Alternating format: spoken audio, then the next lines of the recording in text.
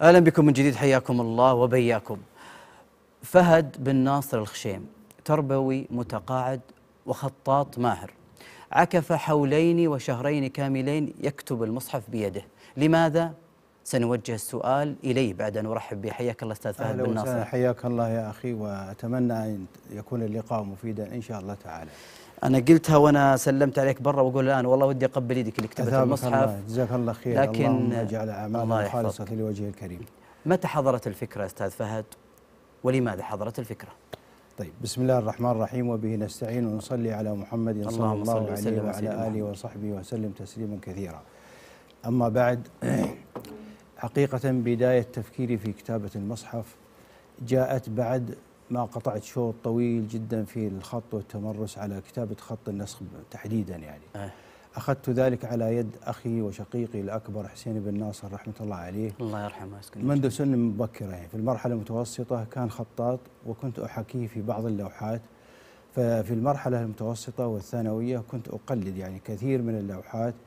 ففي ثانوية ومتوسطة الخماسين وادي الدواسر كنت خطاط المدرسة. في في في كتابة الصحف والمجلات والدوريات. انتقلت هذا قبل المكتبات والاشياء أي كنت قبل تستخدم الإيد. المكتبات قبل التقنية. قبل ما تخزون التقنية جميل. كنت ذلك. كانت متميزة المدرسة أجل. الحمد لله. هذا من فضل الله سبحانه وتعالى. الحمد لله. بعدها انتقلت إلى جامعة الملك سعود في الدراسة الأكاديمية في كلية التربية. آه، وتحديدا في الإسكان الجامعي في الدرعية. إيه. كان في برنامج اسمه برنامج تشغيل الطلاب في الفترة المسائية. فكنت من لا صفي هذا. قصدي خارج المدرسة برنامج أي خارج أي المدرسة. خلصت من المدرسة. خارج الدراسة. أي خارج المدرسة إيه. أي في الفترة المسائية. المسائية اي فيه اللجنة الفنية تعنى ب- بكتابة عناوين الدوريات والمجلات وصحف الحائط وما إيه. إلى ذلك. إصدارات يعني تصدرها الإسكان الجامعي. جميل. أي نعم. ومن المشاركات الحقيقة التي أتذكرها جيدا تلك المشاركة التي يعني شاركت مع زملائي الخطاطين من مختلف الكليات في احتفال الجامعة جامعة الملك سعود باليوبيل الفضي سنة 1402 بمناسبة مرور 25 سنة على. تأسيسها. تاسيس آه، برعاية الملك خالد بن عبد العزيز رحمة الله عليه. رحمة الله عليه. ذلك اليوم الذي تحول فيه مسمى الجامعة من جامعة الرياض إلى جامعة الملك سعود. طبعا بدأت مشواري التعليمي بعد ما خر- تخرجت في كلية التربية تخصص ش- الفيزياء. شاركت بإيش في في الاحتفال؟ في, في كتب- كتابة اللوحات الترحيبية إيه. والإرشادية كان كلها عليك إلى أنا وم- يعني مجموعة من إيه، زملائي لكنك من. المشاركين أي نعم اللوحات الترحيبية والإرشادية إلى مقر الحفل جميل بالإضافة إلى المشاركة في كتابة العناوين والدوريات والصحف يعني جميل بدأت مشواري التعليمي في سنة 1402 1403 ويتخلل عملية التدريس يعني مشاركات بين الحين والآخر صحف الحائط ما إلى ذلك باعتباري معلم ويعني أعطي للطلاب بين الحين والآخر حسب ما يسمح به الوقت. يعني بعض إذا جلست المهارات. بعض الجرعات في خاصة أنا أركز حقيقة على محب المهنة ما شاء على الله على الخط النسخ وال- والخط. طبعا بما لا يتعارض مع أحسنت. حصصي ونصابي و... والحمد لله.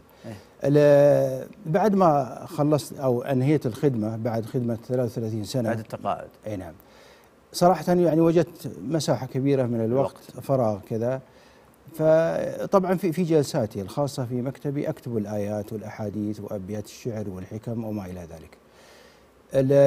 بدأت أفكر في كتابة المصحف كاملا. وجهزت الأوراق بتصاميم معينة كذا وفيه أسطر خفيفة وكل ما يعني طبعت صفحة الفكرة ما معينة. جت كلها بعد التقاعد. إيه بعد التقاعد. بعد إيه. التقاعد فكرت جديا يعني. إيه. في هذه الأثناء نزل للسوق ما يسمى بالمصحف المفرغ. وهذه بعض اللقطات بعض الصور على الشاشة. بعنوان بيدي رسمت حروفه وكتبت كلماته. هذا موجود في السوق. فلما وجدت هذا هذا المنتج أو يعني هذا الإصدار إيه. وفر علي مجهود كبير جدا هذا جاهز للكتابة هذا جاهز للكتابة يعني من جميل. الممكن أن نري المشاهدين إيه، بعض ممكن. الصفحات إيه عفوا الصفحات ف- فارغة تماما أيوة. فقط يعني ال- الآيات أرقام ومرقم الآيات الآية وكل شيء. مرقم جاهزة ال- للكتابة. الآيات وأسماء السور والصفحات جاهزة تماما أيوة. ل- لكتابة الآيات جميل طبعا هذا الإصدار عندما أصدر كان يعني من من سعى عليه جزاه الله خير يهدف أو الهدف الرئيسي له اللي هو مساعدة النشء على حفظ كتاب الله سبحانه وتعالى بطريقة ما كان يفعل في الكتاتيب الكتابة على اللوح بالطباشير ثم حفظ الآية ثم مسحها واعادتها مرة أخرى. جميل هذا من الأهداف. أي نعم وحسب وجهة نظر من صمم وسعى فيه انه يكتب بالقلم الرصاص. آه لكن أنا باعتبار إني قطعت شوط كبير جدا في الخط. أنت صرت محترف الآن. أي الحمد لله. يعني ثقتي بالله سبحانه وتعالى ثم بنفسي كذا. يعني أستطيع إني أكتب بالحبر مباشرة. جهزت أقلامي حقيقة وهي أقلام آخذها من السوق ولكن الريشة تحتاج إلى إعادة قص أو تهيئة يعني إعادة قط الريشة. بحيث إن السمك يتناسب مع مساحة المخصصة للآية. لو كانت بقلم عادي أيوه. قد يكون الآية قصيرة جدا أو يعني تنتهي قبل الموضع ال- ال- إيه. المفترض أنها تنتهي فيه إيه. لو كان ببنط أعرض من 5 من 10 ملم أيضا من الممكن تأخذ مساحة طويلة. سويت تجربة أنت قبل. اي طبعا قبل ما ما أبدأ في كتابة الآية يعني أركز على الآية هل فيها حروف ممدودة أو إيه. أو أو أو مضغوطة الآية في بعض الآيات يعني تحس إن. الكلمات مضغوطة يعني صحيح. فقبل ما أن أبدأ بسم الله وعلى بركة الله في بداية الصفحة أركز جيدا على على الآية هل فيها مدود ومنها كثيرة قراءة وحفظ وتركيز. لا الحفظ يعني يعني يحتاج إلى وقت آخر لكنها تعتبر مقدمة حفظ يعني. مقدمة إن شاء الله تعالى نسأل الله. سبحانه وتعالى أن يعين الجميع أسلم. أي فبدأت إن شاء الحمد لله بالضبط يعني يوم كان يوم جمعة يوم 15 5 1438 و قررت تنطلق أي ساعة؟ انطلقت. أي ساعة؟ والله. إن لم تخني الذاكرة كان بعد صلاة جمعه بعد صلاة الجمعة مباشرة. أي وضعت لنفسي خطة بحيث إني أنهي كتاب الله سبحانه وتعالى في خلال ثلاث سنوات. وبدأت من أي من أي جهة؟ طبعا من من البداية من. الفاتحة من الفاتحة. أي نعم. من الفاتحة. هذا هو المصحف اللي أنت كتبته. هذا هو المصحف الذي كتبته. خذ زوم تكفى يا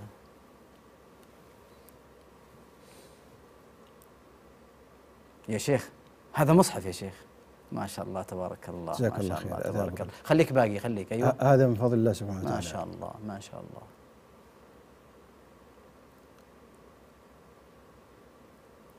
ما شاء الله ما شاء الله ما شاء الله ما شاء الله. خليك مستمر يا شيخ. خلاص الله يحفظك أثابك. ويبارك فيك. طبعا استمريت الحمد لله على على هذا هذه الخطة طيب سؤال بسيط بحيث إن سؤال بسيط. خل اكمل المعلومه هذه إيه. وبعدين بحيث إن جلساتي في اليوم جلستين الجلسة الأولى بين الظهر والعصر إيه. والجلسة الثانية يعني بعد العشاء حتى الساعة العاشرة طيب ما يمكن وانت تكتب مثلا تخطئ مثلا في رسمة في شيء ولا جميل جميل إيه هذا من فضل الله سبحانه وتعالى أن في خلال ال 604 وجه إيه. لكتاب الله سبحانه وتعالى. يمكن عدد الأخطاء التي وقعت فيها يمكن محدودة على أصابع اليد الواحدة. ما شاء الله. ثم هنا حلها. سم. حلها. حلها. وهناك مسحة خاصة بالحبر. آه. يعني آه، مسح بشكل لطيف جدا على الكلمة أو ال- ال- الحرف أو كذا. ثم أعيد الكتابه وكأن شيء لم يكن. من فضل الله سبحانه طيب وتعالى. سؤال يا شيخ إذا بدأت الآن في البرنامج عندك ثلاث ساعات آه، قلت الصباح ثلاث ساعات مساء؟ لا لا لا لا ما تجي يعني آه، طاقتي حق- الحقيقة يعني يمكن ساعة ونصف في الجلسة الواحدة. في الجلسة الواحدة. أي نعم لأن طيب، اليد تجهد الساعة وكذا. ونص يا شيخ إذا بدأت هل أنت آه، تندمج في الكتابة يقطعك شيء وترجع؟ آه، كيف تجد مثلا جداً، تركيزك فيها؟ ممتاز جدا. إذا بدأت إيه. يعني أعقد العزم بأن أنهي الوجه كاملا. على خلاص خطتك تقدير. ذا الوجه ال- تنهي الوجه كاملا إيه. كتابة ثم تشكيلا. يعني ما أتذكر خلال السنتين وشهرين الماضية أني قمت وأنا كاتب مثلا سطرين ثلاثة وجاني اتصال ولا كذا أبدا. لازم أنهي الوجه كاملا. وهكذا. وانتهيت بحمد الله سبحانه وتعالى يوم الجمعة الماضية يوم 15 7 1400 بدأت الجمعة وانتهيت الجمعة. الجمعة والجمعة الحمد لله. ما شاء الله. فكانت المدة سنتين وشهرين. ولله الحمد. ذكرت يا شيخ أه- أهم أهدافك فيها في الكتابة؟ طبعا الهدف الرئيسي الرئيسي رقم واحد اللي هو استثمار الوقت فيما ينفع. أحسنت. خصوصا. إنك متقاعد يعني. خصوصا المتقاعد يعني أيضا نفس الشيء ال- يعني اليد جلست فترة طويلة كذا ما, ما أكتب كذا والحمد لله مع الميراث والكتابة يعني رجعت ال- المهارة. المهارة مرة أخرى. إيه. الهدف الثاني طبعا أن يبقى هذا الكتاب ارثا لأولادي من بعدي وبناتي الحمد لله. ما شاء الله. الله يجزاه خير. طيب شيخنا لو عزيز عليك غالي غالي عليك وطلب منك هذا الكتاب هدية وش بتقول له؟ والله يعني من النقاط المهمة الحقيقة وأنا أكتب خلال يعني أكثر من 800 يوم يعني لو حسبناه كذا. كهدية يعني أنا أنا صراحة في أمنية أتمناها.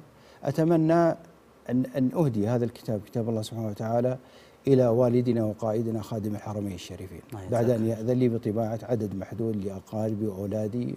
آه بتأخذ منها نسخ. أي يعني فهذه النية. أما إهداء يعني آه، آه، يعني أنا أركز على النقطة هذه يعني إهداء لوالدنا وقائدنا خادم الحرمين الشريفين. الله يجزاك خير ويحفظك الله طيب وش تبغى تقول في نهاية هذا اللقاء؟ أنا والله ودي أشوف خطك وديك تكتب لنا شيء اهداء شيء أبشر أنت. معك آه، جاهز؟ والله ترى والله هي وليدة الفكرة وليدة اللحظة يعني اكتب أي شيء للقناة اكتب المجد للوطن والله هذه تحتاج إلى أقلام عريضة يعني قد لا يكون القلم أنا ودي بس كذا للذكرى والله إذا كنت جاهز فقط لأن القلم يحتاج إلى تمرين يعني لا نخليها أجل بعد الحلقة إذا طيب. ما عندي مشكلة ما عندي. طيب شيخ الله ينفع بك ويحقق أمانيك ويجعلك. مبارك أينما كنت. إيش. شعور الأولاد؟ وكانوا يشاركونك ال- المشروع؟ والله بلا شك يعني يوميا أحد منهم خطاط الأبناء أو البنات شاء الله يعني لكن خطوطه متواضعة صراحة يعني. آه. نعم. يعني ما في أحد ماهر. في في الأسرة في خطاطين. إيه. في الأسرة بشكل عام في خطاطين يعني. الله ينفع بك لكن خط بمعنى ال- القواعد الخط المعروفة كذا لا يوجد يعني. شكرا جزيلا يا أستاذ. فهد إيه. بن ناصر الخشيم أه تحب تقول شيء؟ والله فيه رسالة صراحة أو فيه كم من الوقت يعني ممكن اللي تبي إحنا تحت جزاك الله خير ال- النقطة ال- الأولى اللي ودي أذكرها في نهاية هذا اللقاء يعني ردود الفعل فعل المجتمع تجاه يعني انتهاء خبر يعني إيه صحيح من من كتابة المصحف هذا لا يستغرب أبدا. من مجتمع في دولة يعني جعلت من القرآن الكريم دستورا لها مع سنة المصطفى صلى الله عليه وسلم من منذ تأسيسها على يد المؤسس ال- الملك عبد العزيز بن عبد الرحمن طيب الله ثراه. جزاك الله خير. بتأسيس المطابع واستقطاب ال- الخطاطين المهرة والكوادر البشرية المدربة. وسيظل اهتمام حكومة خادم الحرمين الشريفين بكتاب الله متمثلا في المسابقات المحلية والدولية. فالحمد لله أحسنت أنا شفت. التغريدة عليها تفاعل كبير جدا جدا جدا ما شاء الله لله. تبارك الله. في رسالة أيضا ودي ودي أختم بها. ختم بها مع أنها تتكرر في أكثر من مناسبة اللي هو الخط العربي. إيه. أتمنى أن يرجع للميدان خاصة في المرحلة الابتدائية كراسة الخط العربي خاصة خط النسخ والرقعة يعني الخطوط الأخرى المتقدمة الثلث أو الديواني أو الفارسي هذه مرحلة متقدمة لكن خط النسخ الأساسيات. أي أساسيات. في المرحلة الابتدائية خاصة وجزاكم الله خير على الاستضافة والله لو تشوف خطي يا شيخ كان أثا- شوف شوف شوف إيش رأيك في الخط؟ فيه البعض البعض أنا إذا كتبت خطي ما أعرف أقرأه البعض الآخر اللي خطوطهم يعني تمشي وكذا إيه.